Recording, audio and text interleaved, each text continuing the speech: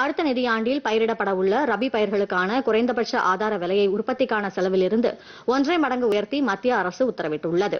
புதுதில்லியில் நேற்று செய்தியாளர்களிடம் பேசிய மத்திய வேளாண் துறை செயலர் சஞ்சய் அகர்வால் இம்மாதம் எட்டாம் தேதி நடைபெற்ற பொருளாதார விவகாரங்களுக்கான மத்திய அமைச்சரவைக் கூட்டத்தில் இதற்கு ஒப்புதல் வழங்கப்பட்டுள்ளதாக தெரிவித்தார்.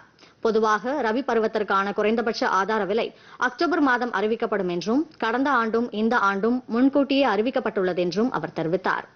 நடப்பு நிதியாண்டில் இதுவரை எண்ணூற்று எழுபத்து ஒன்பது மெட்ரிக் டன் நெல் கொள்முதல் செய்யப்பட்டுள்ளதாகவும் அதே நேரத்தில் கடந்த ஆண்டு இதே காலகட்டத்தில் எழுநூற்று எழுபத்து மூன்று மெட்ரிக் டன் நெல் கொள்முதல் செய்யப்பட்டுள்ளதாகவும் அவர் கூறினார்.